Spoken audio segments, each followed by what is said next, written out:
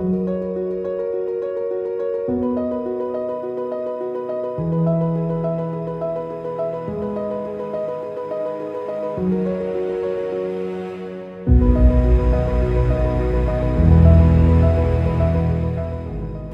Wine to Water is an organization where we believe that clean water can change the world.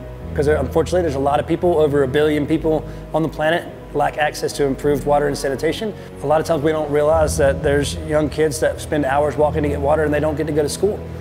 Or it also helps support local economies. There's a lot of times when they don't have water, they're spending so much money to try to get clean water or on medicines to treat their children that when we provide clean water, not only do we help with education, we help uh, support local economies. We help the environment. A lot of our disasters that we respond to uh, would normally be responded with hundreds of millions of plastic bottles of water, but we respond with things like water filtration devices that'll last a decade.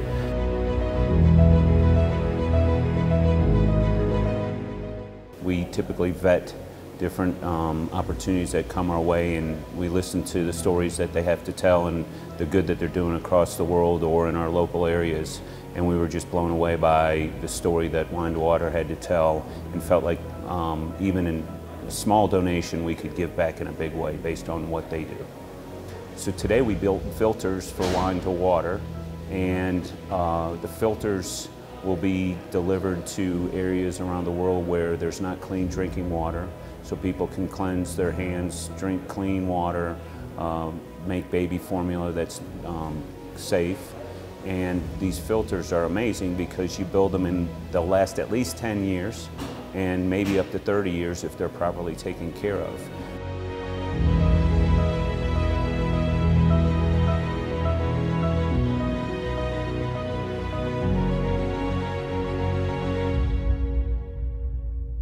So to hear the story of where Doc came from and how he started the company, why he started the company, and how quickly he went from zero to really feeling this was so important. Um, I mean, I wanted to jump through a, a, brick wall for the guy by the time he got done telling us. So, and I could just sense just the emotion and power in the room and then to see our group come together and start challenging each other and having a little bit of fun with how quickly each um, assembly line could build them. Um, and I just know the sense of uh, good and, and, strength coming out of the, the day's events is going to be pretty powerful and carry us through the weekend.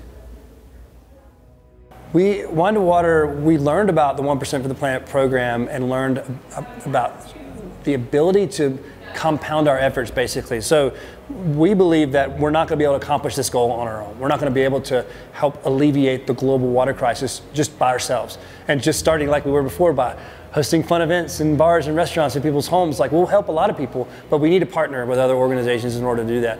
1% for the Planet has allowed us to, to have other partners that are passionate about the same type of work that we are, help them to find us or vice versa, us to find them. And so to, for organizations like RELiON have allowed us to compound our efforts. Whereas without 1% for the planet, we would not be here today. We would not have found y'all or y'all found us and be able to do this experience, have y'all support our Water for Schools program, the Filter Build program. So it's really allowed us to meet passionate, exciting partners that otherwise we may have never met before. But I think more and more we have a population of people that want the companies that they support, that they buy products from, to also care about the planet to also care about people, to also care about their local or their global communities, either one. So I think it's so important that businesses begin to realize that and recognize, and I, and I think it is. I think it's an exciting thing happening right now in our culture that businesses are realizing that it's not okay just to only focus on the bottom line. It's a powerful bonding experience when the team knows that they're doing good for not just for the company and themselves, but for others. It's so rewarding to be able to spend time and listen to what small things we do and the big impact that they have on people that maybe are a little less fortunate or in need.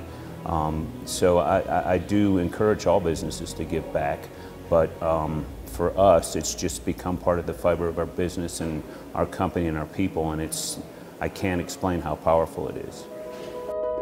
thank you